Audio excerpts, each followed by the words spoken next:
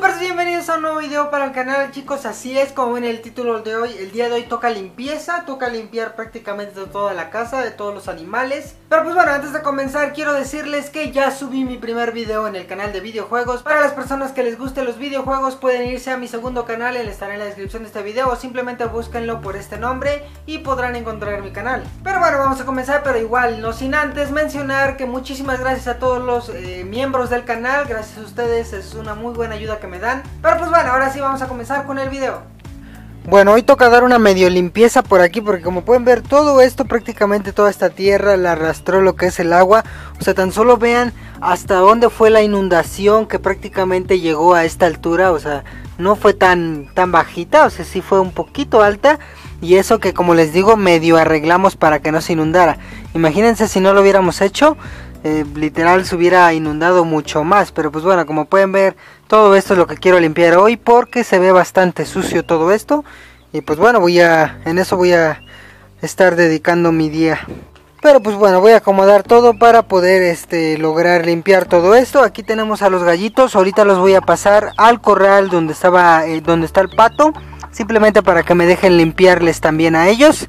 Y sirve que ahí pueden comer sin ningún problema. Así que pues bueno, vamos a pasarlos para allá, permítanme. Bueno, listo, aquí tenemos a uno. La verdad, estos colores me gustan bastante, se ve bien bonito. Pero pues bueno, también este de aquí voy a medio limpiarlo. Porque el lugar igual está súper feo. Pero pues bueno, primero vamos a dejar aquí a los pollitos. Bueno, más bien, este es una, un pollito porque es una gallinita, pero me refiero todavía está muy chiquita. Todavía le falta crecer un poco. Ay, cabrón, ya se me salió el pollo. Oye, Cabroncito. A ver, métete. Métete, métete. ¿Dónde vas? ¿Dónde vas? Métete ahí. Ahí, métete. Eso, le. Listo, ven para acá. Ven para acá. Estás bien bonito, la verdad. Cállese, mira. El pollito, digo, la gallinita se, se acostó para recibir el sol, como pueden ver. Ay, no, no, no. Todavía no la pises, güey, porque todavía está muy chiquita. Pero pues bueno, como pueden ver así están. Pues a ver, conectamos esto aquí a la luz. Permítanme, no te muevas, puto, no te muevas, puñetas. Ah, bueno, listo. Pues a ver, conectamos la pistolita por aquí. Ah, bueno, listo, ya quedó. Conectamos la manguera por acá. Listo. La encendemos. Perfecto. Y probamos.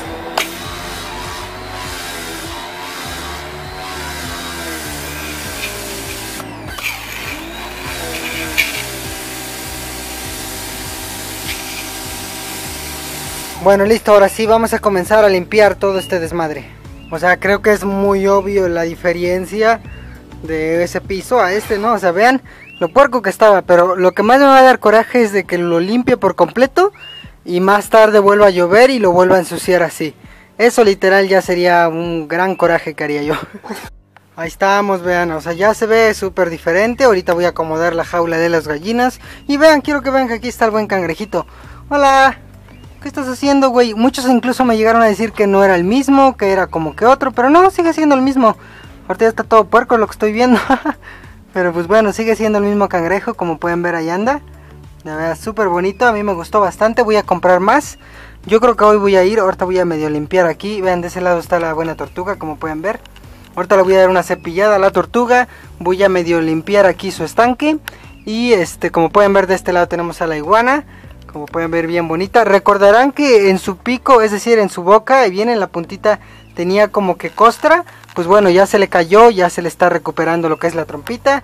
Y pues bueno, yo como que como que la veo en mejores condiciones. Obviamente como que su, su cresta no le ha crecido para nada. Su cola posiblemente le crezca un poquito más, pero eh, pues obviamente yo no veo ese cambio porque la estoy viendo a diario. Pero pues bueno, de este lado tenemos a los ratoncitos, como pueden ver ahí están, la vean muy bonitos, me gusta bastante. Vean como pueden ver este lugar ya lo están agarrando de casita, ya por fin ya se acostumbraron a estar aquí. Eh, muchos haters me decían se te van a morir, eh, se te van a escapar, está bien feo esto. Miren este güey aquí durmiendo. pues bueno, me decían todo eso, pero se equivocan. Los únicos capaces de escaparse son las crías. Sin embargo, cuando son crías, un ejemplo, si una mamá tiene las crías ahí, así ya estén más o menos de ese tamaño, tal vez un poquito más chiquitos, siguen dependiendo de la mamá, por lo tanto de este topper no se van a salir hasta que ya sean suficientemente grandes, que prácticamente incluso puedan comer por sí solos. Pues bueno, pero para ese momento, en el momento que ya sean lo suficientemente grandes para dejar a la mamá, en ese momento ya van a estar de este tamaño y ya no van a poder salirse desde esta rendija. Eh, muchos tienen eh, pensado que sí, porque yo incluso yo he visto ese tipo de videos donde te dicen que un ratón se puede eh, prácticamente entrar por agujeros muy chiquitos. ¿Por qué? Porque por ejemplo sus costillas como que ellos las comprimen y como que las hacen más chiquitas a modo de que puedan caber por cualquier hoyito, pero obviamente tienen un límite. Esta cosa de aquí es un, es un agujero muy chiquito que literal no pueden pasarlo porque pues obviamente se atorarían. Esta de aquí ya está bastante grande, esta ni siquiera... Eh, pues prácticamente está 100% seguro que no se puede salir. Esa de allá que está un poquito más chiquita tenía la posibilidad de salirse tal vez hace unas semanas, pero ahorita ya no se puede salir porque ya está un poquito más grande. Así que no se preocupen chicos, prácticamente eh, ya estuve checando, ya llevan dos días aquí afuera.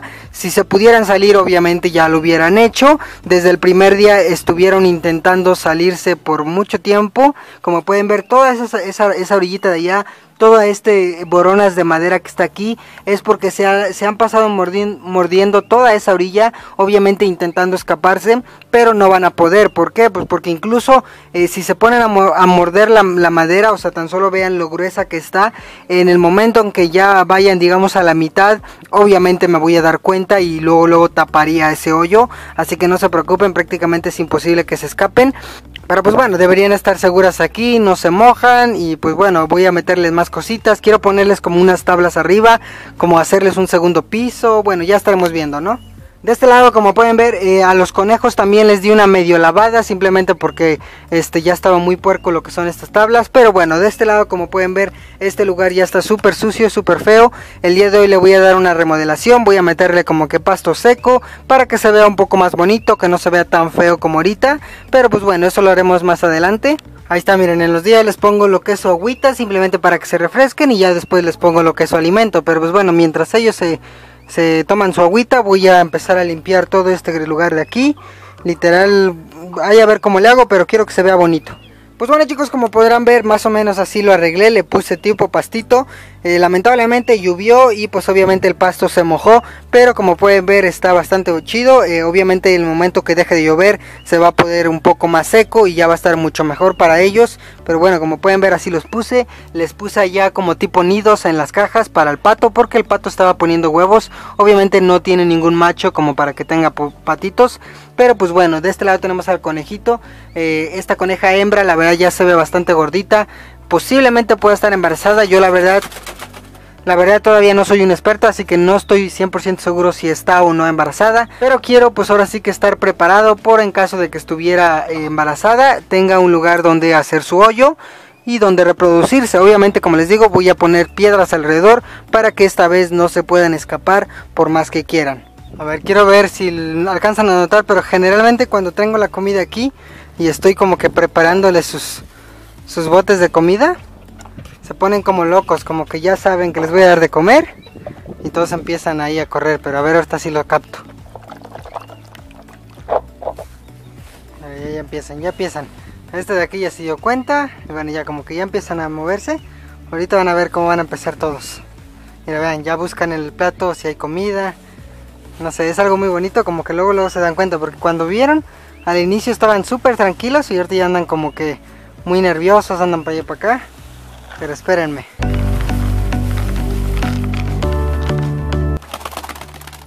Babosa, no te agites así. Si nada más estás tomando agua, no te estabas bañando. Babas. Tengan, mira, tengan, tengan, para que coman. Oh, ah, me llevo este.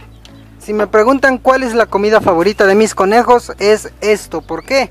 Porque si les doy de esa conejina, de, de esto, de lo que les acabo de dar, Ahorita están comiendo todos, pero en el momento que yo ponga la otra comida, digamos allá, todos dejarán de comer esta y se van a ir a comer eh, el alimento para pollo. Pero bueno, les voy a mostrar ahorita. Ahorita vean cómo están comiendo de ese plato. Pero ahorita que les ponga este, ok, miren, van a ver cómo van a dejar de comer eso y se van a venir a comer esto de acá. Pues bueno, ahorita nada más que se den cuenta que esté aquí, con que una solo, con que un solo conejo note la comida, todos los demás empiezan a comer acá. Pero bueno, vamos a darle los de allá. A ver, tengan, ah, ay, lo tienen. Ahí está su comida. Bueno, ya empezaron aquí a abandonar la de allá. Y estos de aquí ya van tres que se cambiaron para acá. Ahí está el cuarto y al final este igual se va a terminar cambiando para acá. Como les digo, no sé por qué les encanta mucho más ese alimento que para empezar es alimento para pollos, no para conejos. Pero este, bueno, a ellos les ha hecho bien, creo que ya están acostumbrados a comer eso. Porque, por un ejemplo, este gris al inicio lo mantuve con puro de esa conejina. Y pues obviamente este, al momento que yo le introduje por primera vez este, él seguía prefiriendo esta. Obviamente ya con el tiempo ya empezó a gustarle esta y ya se acostumbró a comer más esta. Y esta siempre la dejan al final. Prácticamente cuando ya no tienen eh, de esta para comer eh, pues prácticamente lo único que tienen que comer es este lo de acá y prefieren comer esto. Pónganle que esto es brócoli, porque literal es como si fuera verdura comprimida. Pónganle que esto es brócoli y esto es una pizza. Obviamente todos prefieren la pizza y ya cuando no hay otra cosa que comer, solamente por estarse muriendo de hambre, ya empiezan a comer esto de acá. No sé, es algo muy gracioso. Vean, como pueden ver aquí estos tres también ya están comiendo aquí. Pero como les digo, dejan a un lado esta comida. Ahora otra cosa, como pueden ver, les eché poquito pasto Créanme que, eh, bueno, ellos nunca han comido pasto, es decir, nunca les he puesto pasto. ¿Por qué? Porque el pasto cuando está muy verde puede llegar a ser malo para sus estómagos si lo comen muy a menudo. No es recomendable darles mucho alimento verde porque pues bueno, eh, sí se les puede dar alimento verde, pero cuando ya son grandes, cuando ya son adultos, por así decirlo. Cuando están todavía muy chiquitos como estos, por ejemplo, estas de aquí la mayoría son crías, cuando están muy pequeños, su estómago no está acostumbrado a digerir eh, alimento verde, así que solamente les recomiendo que le den alimento puro seco y cuando ya sean adultos ya le pueden dar verde. Bueno, mi caso es de que como nunca les he dado pasto, eh, hace un rato les puse una bolita de pasto simplemente para ver si comían y ninguno quiso comer, literal, ni, la, ni lo pelaron, es decir, no quisieron comer nada. Y bueno, como pueden ver, hambre sí tenían, porque vean, o sea, vean cómo sí están comiendo, o sea que hambre Hambre sí tenían, pero como les digo, prácticamente no querían comer el pasto, no, no lo reconocen como comida, no están acostumbrados. No se la vea, se ve mucho mejor así con el pastito. Obviamente de ese lado no le quise poner pasto, porque como todas las caquitas de los como se? De los conejos está cayendo ahí, como que el pasto lo iba a echar a perder y nada, mejor prefiero ponerle nada más aquí, ahí no lo voy a poner. Bueno, como pueden ver el otro conejo está allá. Como les digo, ya le, puse lo que son estas piedras, vean como pueden ver prácticamente todo alrededor. Obviamente está con piedras grandes, aquí ya no le puse porque muy rara la vez lo intenta, intentan excavar por aquí. Y por ejemplo acá no obviamente no voy a poner porque como está esta piedra es prácticamente imposible que se pueda escapar por ahí. De ese lado está cubierto de puros cimientos, no se podría escapar por ahí. Como pueden ver prácticamente nada más escaparía de estos lados, pero como pueden ver en toda la orilla le puse lo que son piedras. Obviamente sí se pueden seguir escapando desde aquí. Pero imagínense, antes nada más tenían que hacer un hoyito aquí y ahora para poder escaparse tendrían que hacer el hoyo hasta acá y ya hasta por acá ya se podrían llegar a escapar. Eso me da más tiempo a mí de poder estarlos vigilando, de poder este tenerlos un poco más controlados y pues bueno, nada más hay un conejo esta vez, ya no hay más. Así que pues bueno, esa es mi idea por el momento que estén así y también quería mostrarles de que este conejo de aquí no sé si alcancen a ver, pero lo que es su ojo, miren como en la parte de abajo tiene como color azul y en la parte de arriba tiene otro color de ojo como pueden ver. Y la verdad no se la se me hizo muy bonito. Y luego es una hembra. Eh, lo que me gustaría es de que pues bueno esta la, la reproduzca y sus crías nazcan con esos mismos genes de su ojo que nazcan así. La vea muy bonito ese ojo de que tiene azul y, y como café y negro a la parte de arriba. La verdad me encantó bastante pero pues bueno como pueden ver así estarían lo que son estos.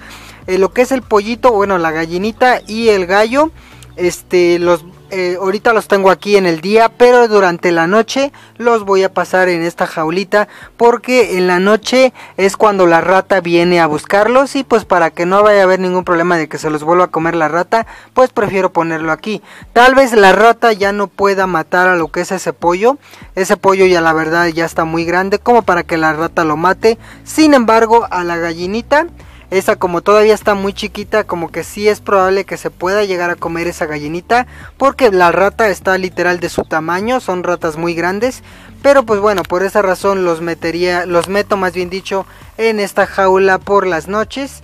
Y pues bueno, como pueden ver de este lado está la buena iguana, de este lado tenemos a cangrejo que se intenta escapar, como pueden ver. ¿Qué estás haciendo, güey? Em, eh, por ahí vi un comentario, se me olvidó quién, este, pero me alcanzó a decir de que los cangrejos suelen estar mucho mejor en como manada, por así decirlo, es decir, en varias, este, ¿cómo decirlo?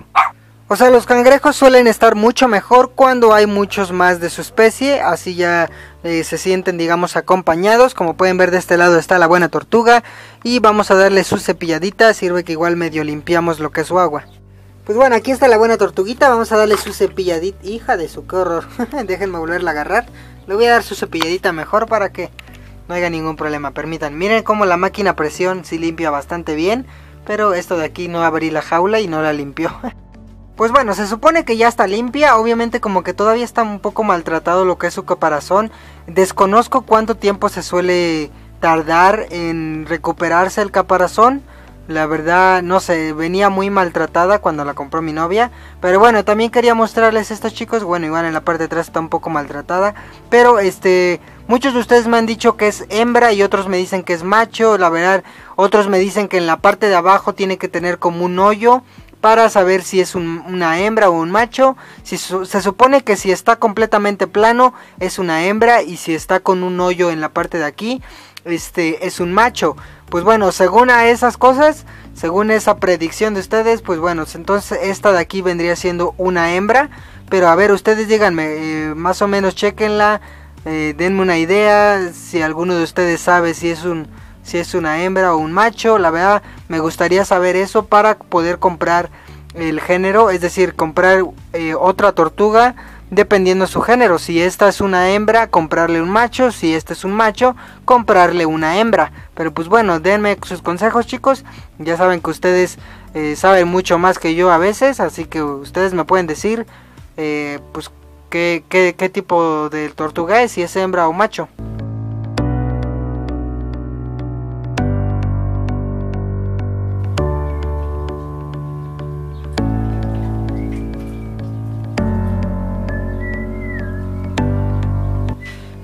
Ya aquí tenemos... ¡Ay, cabrón, me espantaste!